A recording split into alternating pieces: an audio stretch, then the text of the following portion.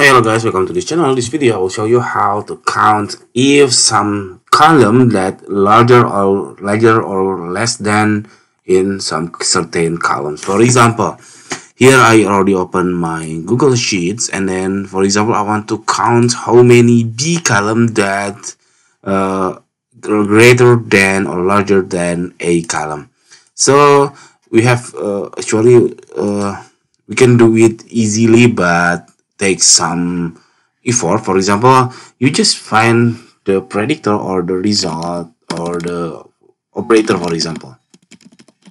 So I will find when the the B column is greater than A column, hit the enter, and then put put a check, and then here you can see there are two of values that be greater than a. After that i just can click count if count if this c column equal to true.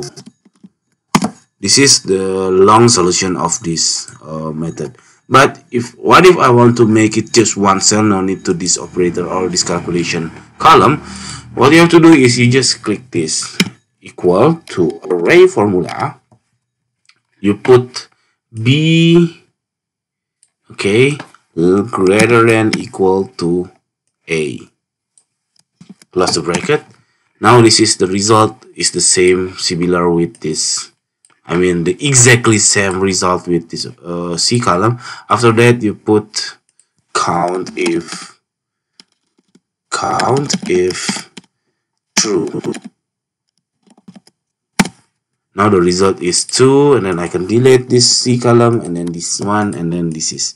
This is the final result. How many B is greater than greater equal to than A?